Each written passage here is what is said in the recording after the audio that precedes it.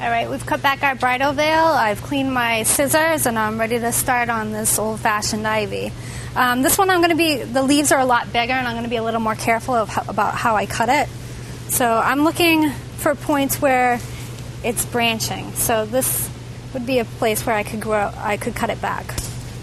But um, actually, I think I want to go a little shorter. So I'm just looking for those points. So if I cut at the top like this, I would just be left with an, an ugly stem.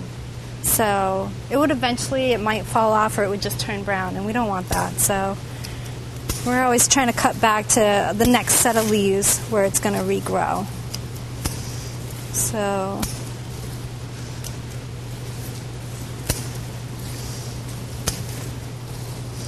doesn't have to be exact, but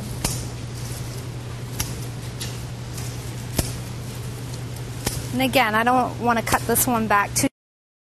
The harder I cut it back, the more it sets the plant back. It's going to take a longer to, to regrow, and I, I don't want to make it look ugly.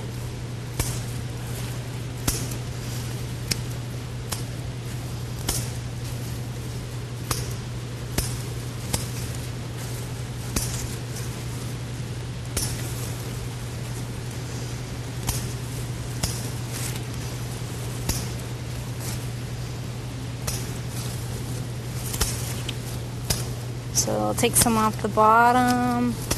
This, the length I'm not going to worry so much about because it's a little too big.